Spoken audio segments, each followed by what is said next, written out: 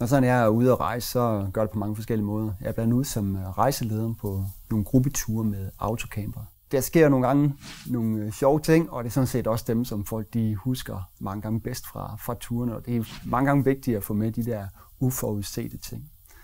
En af dem er sket her for nylig, hvor at, øh, vi jo kører rundt over i USA, og for første gang så vælger jeg at køre efter GPS. Jeg plejer at køre efter mine egne notater. Jeg plejer at køre rigtig godt uden problemer. Så lader jeg en GPS vise vej. På et tidspunkt så vil den dreje udenom en lille by, i stedet for at køre ind, og så tage den almindelige vej ud. Og øh, jeg tænker, okay, fint nok, en genvej, den snupper vi. Og vi kommer ud, vejene begynder at blive mindre, øh, bliver en lille landevej, og det bliver også til en grusvej. Og øh, lige pludselig så havner vi på en lille markvej ind på en privat ejendom, hvor der står gennemkørsel forbudt. Men GPS'en den vil bare have mig videre ind. Vi vælger at sige, okay, der må være en vej igennem, og så må vi undskylde, hvis vi møder nogen undervejs, og så kører vi afsted derudad.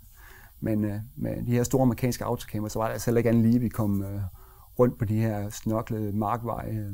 Det ender med, at øh, vi kører afsted derude af en 5-6 km, indtil vi er langt om længe, så kan se en asfaltvej, hvor der kører biler op. Og nu når vi endelig frem, troede vi. Fordi at der er lige en låg, der skulle åbnes, og da jeg hoppede ud af autocamper for at åbne op, så er den selvfølgelig låst med hængelås og stor kæde og det hele.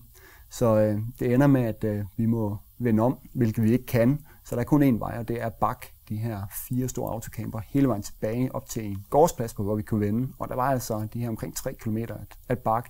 Så øh, de her gæster, de måtte øh, mændene sendte konerne ud af, af bilerne, som rendte rundt om bag ved autocamperne og vinkede afsted, og så fik vi dem bakket tilbage, så vi kunne vende og komme den rigtige vej.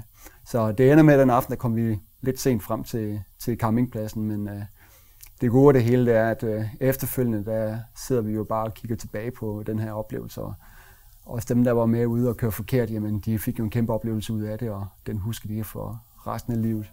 Og de har sågar sendt mig både julekort og billeder og videoer, så det er virkelig gjort stor indtryk på den positive måde, at øh, de fik den her oplevelse med. Og øh, GPS'en, ja, den er røget ind i skabet med det samme, så nu kører jeg efter kort igen, når jeg er ude og køre.